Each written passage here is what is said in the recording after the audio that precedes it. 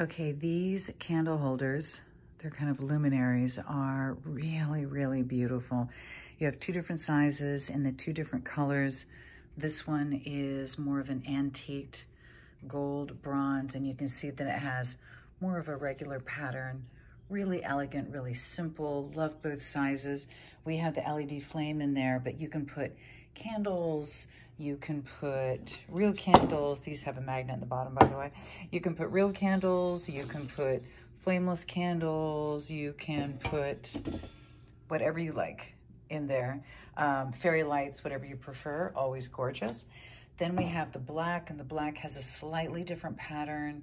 Really, really beautiful. I put some fairy lights in here just to show you how beautiful it look with fairy lights. And I have that LED flame as well. These are black and they have a little bit of the gold around the top. Beautiful, beautiful, beautiful in both colors with so many different ways that you can light them up.